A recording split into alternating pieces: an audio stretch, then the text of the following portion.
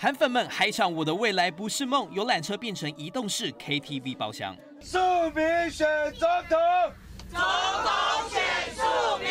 大喊支持韩国瑜选总统，这样的场景从凯道、花莲到云林造势大会都能看到。韩粉自发性搭游览车，再远都去。二十二号台中场也已经开始接受报名。那我是预计是十步。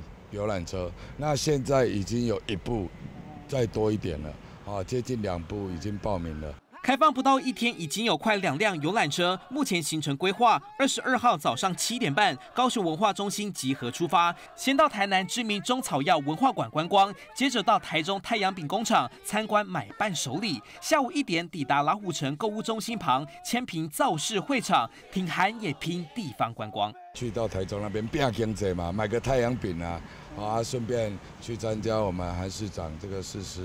韩国于六月周周造势大会，韩粉情谊相挺，游览车业者跟着受惠。因为六月是淡季，平常一天只能出两到三辆游览车，现在遇到造势大会，一天出三十辆，翻十倍，跟旺季差不多。这次非常感谢那个韩国有办这个造势场合场场合，让我们跟游览车都出去了，然后还要在外调。